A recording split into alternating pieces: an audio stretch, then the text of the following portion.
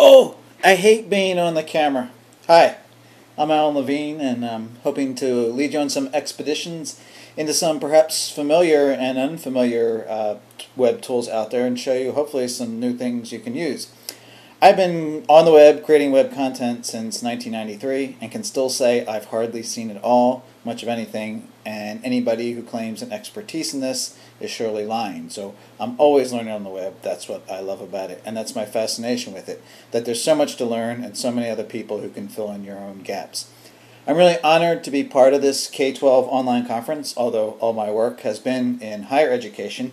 I do have experience in K-12 education. I have my report card here from uh, Bedford Elementary School in Baltimore, Maryland, where I grew up, um, where I first got my start learning and had many great teachers there. I worked for many years in higher ed at the Maricopa Community Colleges, and this year I joined the New Media Consortium doing some fun, cool new tech projects with them. So this video is just one piece of my presentation for this conference, and I've tried to take a hopefully novel approach. And I've spread and scattered it across many places on the internet. So I will show you in a second how to find some of the other pieces. But in this little section, we're just talking about video, and we're up here on YouTube, a site you may know about or may not, but it's a very easy to use um, hosting place to put your web video.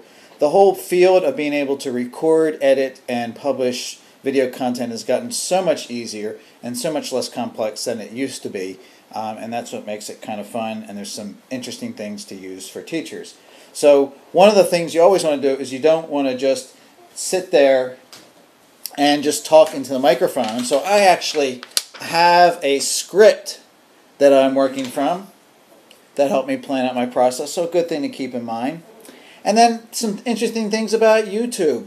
I mean, cool site, easy to upload, easy to use, etc.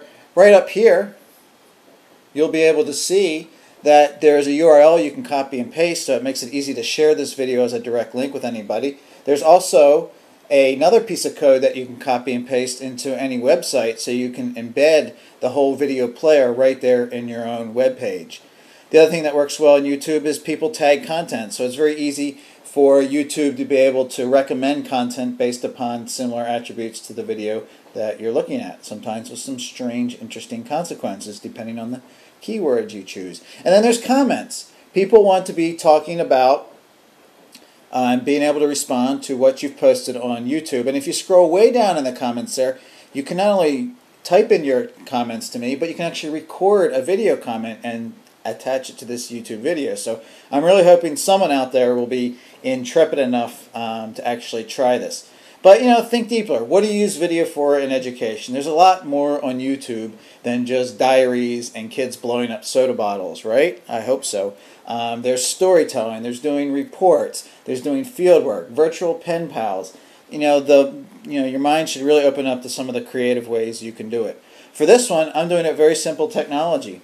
I'm using the iSight camera that's built into the top of my MacBook Pro laptop, and I'm using my high-tech device here to show it to you, and pretty much recording straight in my computer. I'll save this and I'll just upload it to YouTube, gaffs and ums and all, and that will be the way it goes. So, you know, video, you know, be mindful of identity. Me, I don't care about, I'll put my name and uh, identity out there on YouTube. But you know, working with kids, you know, encourage them to you know create accounts with pseudonyms. You know, don't put your face on the camera. You know, follow the talking bear.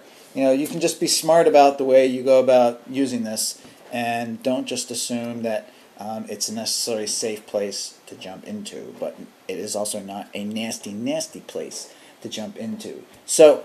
I will be um, putting some other URLs that are related to this presentation that you can help find them. They will appear like right here. I may have to do a little bit of video post-production to get those URLs in there. But that's pretty much it. I'm recording. I'm uploading.